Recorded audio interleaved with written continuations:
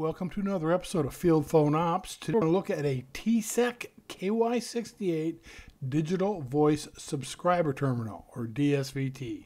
So go ahead and sit back, and I hope you learned something. Okay, and here we go. And this is a TSEC, a KY68 Digital Subscriber Voice Terminal. Now this unit right here was actually demilled Otherwise, I couldn't have it. So basically, they removed all the circuit cards and everything from the inside of it so I could have it. So it's been demilled. It'll never work again. If I manage to get one of these at work, the FBI would be knocking at my door. Anyway, these were developed in the uh, mid-70s as part of the Department of Defense TRITAC program, and it was uh, part of what's called the Vinson family of voice encryption devices, and this was fielded from uh, the mid-80s and used until uh, into the 2010s. When I retired in 2012, we still had some of these mounted in some of our shelters that we used. So this is it right here. Um, it was designed to be uh, used for uh, voice encryption traffic up to the classification level of secret uh, can be used as a dial phone connected to a what's called a ComSec parent or subordinate switchboard. So you can actually make four uh, dial calls using the dial pad, or you can connect it up to a power supply that came with it and do a point-to-point -point with another KY68. And that way it would just be a point-to-point, -point, and that was it. Used a H350 handset right here, which looks like the 250, but it was designed uh, for phone use. Same handset that a DNVT uses.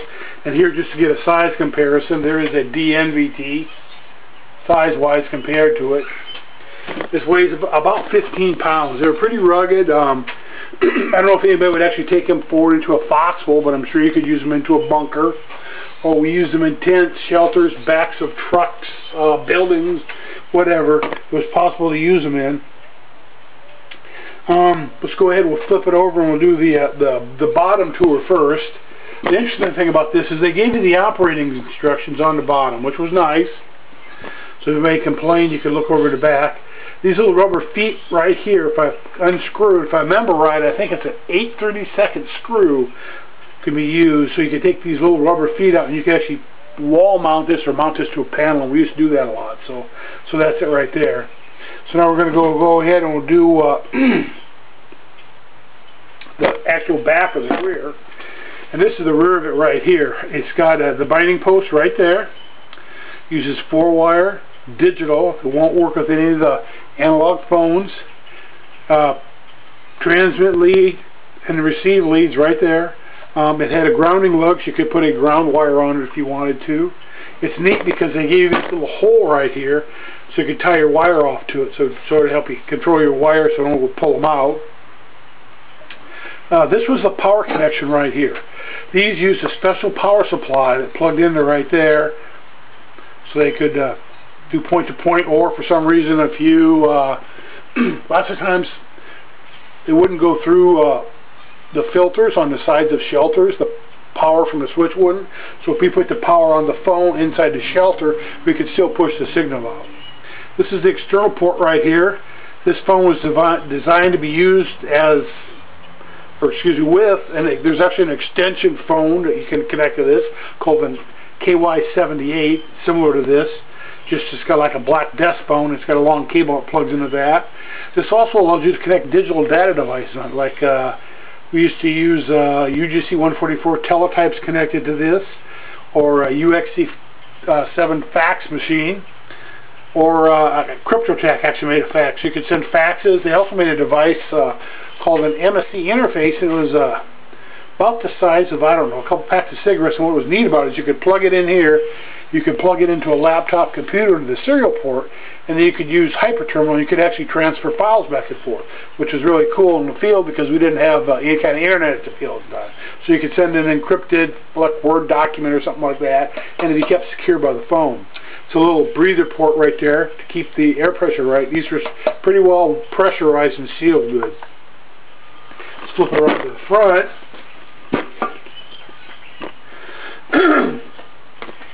got a battery compartment. Now the battery was used for one thing. The battery was used to hold the cryptographic fill. because in order to, for this to, to, to load this and put key material in it or fill, you had to have power to it. So you would hook to the switchboard, switchboard would give you power, it give you let you load the phone, or you had it connected to a power supply, let you load the phone. But as soon as you disconnected from the phone, it would drop all the keys that were in it. So that's what this was for. this is the actual loading port right here, where your fill device picked it. It locked onto that, and that's where you uh, suck basically the keys out of electronically. This right here is where the actual controlled cryptographic item plate used to be. These phones are actually controlled items. Um, they track them by serial number. All the cards, circuit cards, had six circuit cards in. Uh, there were certain ones that were tracked serially by the phone. I remember I getting a message one time wanting them to go out and from uh, Kelly Air Force Base, which is where the Air Force Cryptographic Center was, they wanted us to go out and pull three of our KY68s. They gave us the serial numbers and have them open them up and verify the cards that were in them. So they actually did keep track of which cards were in which phones to make sure that nothing got messed up. Um, this is the non-secure warning light. If this phone was, uh, you picked the phone up to make a call and the number you called was not another phone like this and not secure, you'd get a warning there. Non-secure warning lets you know. You'd also get a tone heads up. That means you're a non-secure phone. And then as long as you were talking to that other party, say it was maybe, an, it could have been another, a dial-up call to a, a DNVT as long as you were on that call, that non-secure warning light would come on. It's basically an indicator to tell you, don't talk about classified stuff, this is non-secure line. This is the variable storage selector switch right here. This is spring-loaded. And this was used to either, uh, I mean, we could, you loaded by going like that, or you could zeroize, which means erase the cryptos, the variables that were stored inside here. Function selector switch. This is was the main switch that made the unit operate. Basically disables just that it's not working. Then we got ready to use it. Let's say we're going to get set up, do a had a mission coming up. We'd load our fill device on here, we'd lock on there, and we'd select the key we wanted. We'd flip this to what's called LDU, which stands for load DU variable. Then we'd uh, flick it like that, and the phone would beep, and you get a flash on the fill device, which is stick it up on this, to let you know you'd loaded a U device, or a U variable. Then you'd flip it to the X variable, it beep beep again at you, you look and see, and you got a good fill on that. At this time, you could remove the fill device and switch it over to operate, and at that time, we usually would pick it up off hook to verify we get dial tone. Because the first time you did, it would have to negotiate with the switchboard. Because it was funny, when you set these up, the switchboard you connected to a ComSec switch knew this was a secure phone. So it would exchange information with it, saying, are you secure? All this stuff, and you hear beeps and clicks in synchronization, and then you get dial tone. Once you got dial tone, good to go. This had one interesting thing on it. It was called SVAR, which stood for Special Variable.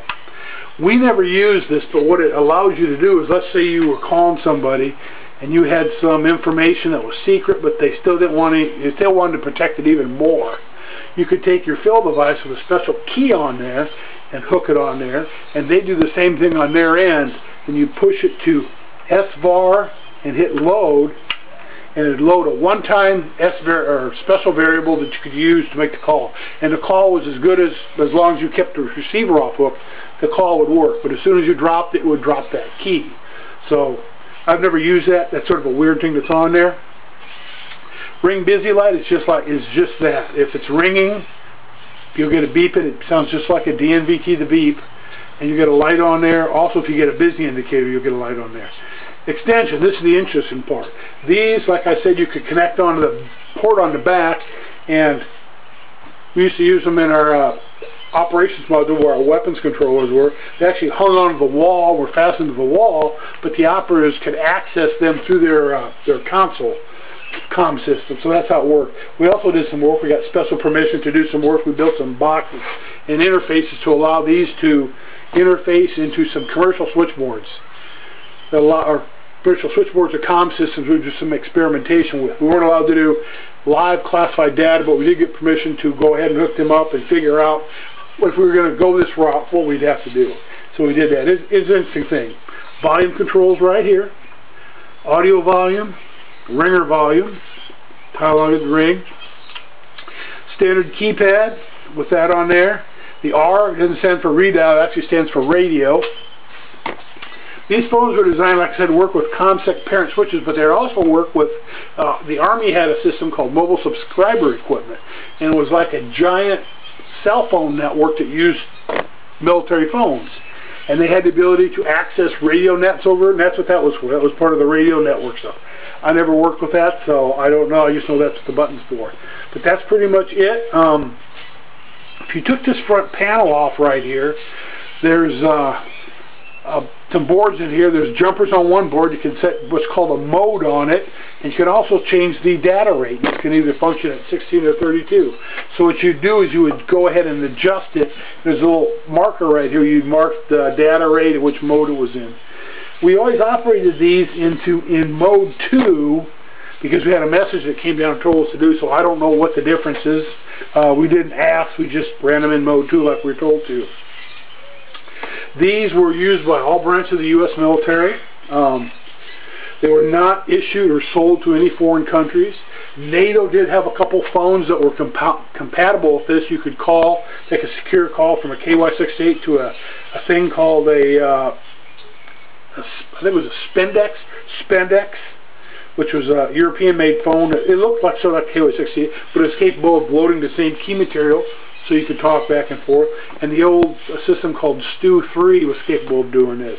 And the thing about this was, if you didn't have the right crypto variable loaded, this phone wouldn't talk to the other phone.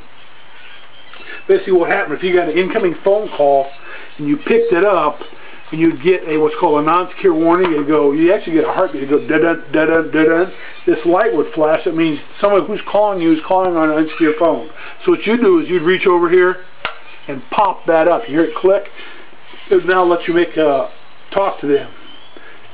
And, but this non-secure warning, that's how you could make a, a non-secure call. Same thing if you wanted to call somebody that wasn't on a secure phone. You'd go ahead, go off hook, pick this up. It would tell the phone you're making that and dial. Well, actually, excuse me, I didn't do it. You pick the phone up, dial the extension number you want, the people you want to talk to. You get a didn't, didn't, didn't, and non-secure warning because it's not a secure phone. You would then pop this up, it override that warning, and you could make a phone call. What was nice about that, once you hung it back up, it locked that switch back down. But this is pretty much it. Uh, it took a special switchboard to use these. Um, there's a switch, the switchboard's a TTC39, which was basically 744 lines. Could use this or can operate one of these. Same with another switch called the TTC42, which is smaller. We used ours with what was called a uh, SB3865, which is a 30-line switch, but we had two of them. You could stack them so we could go from uh, 30 lines to 60 lines to 90 lines We had another switchboard. We never really got many above 30, but that that's how it worked. Um, it was a good phone. It was, like I said, it was heavy. They actually made a case for them that I found when I was still in the Air Force, and I tried to order a bunch of them, they were $1,000 a piece, and my boss got really mad because we're not ordering cases to put the phones in. So we basically had a big mobility bin we put them in because they don't stack well. We had a big mobility bin. We had custom-made drawers. They locked in with foam, and away we went. A lot of the, the equipment and duty sections that had them issued to them, they actually had the phone issued to them, and some of them had them mounted in shelters on the wall. Some of the equipment was uh, built underneath a console. They, they, were, they were all taken care of, so when we went to field, all they had to do was hook them up. Um, they used WF16 field wire, the four-wire stuff return to binding posts. Um, I have seen people use two two pieces of WD1, just two wire field wire in a pinch. excuse me, because they forgot their WF16. Uh, we've used Cat5, so any four wire wire would work on there. Like I said, they're fairly reliable. Uh, most of the times you had problems with them is sometimes they drop a key. So you'd have to go around and, and just reissue the key in it. I think we had one phone we actually had to open and fix something. And we're not, we weren't allowed to do any work on the, the circuit board, but there was a wire that was, I think it was on the audio side. The audio was cutting in and out. And we looked at it and see, and there's actually a wire that had come unsoldered from the back side of that little pot. They soldered it back on worked like a champ. Um, I know the DOD got rid of these. Like I said, this one has been demilled. And this is a, a TSEC KY68. I hope everybody learned something.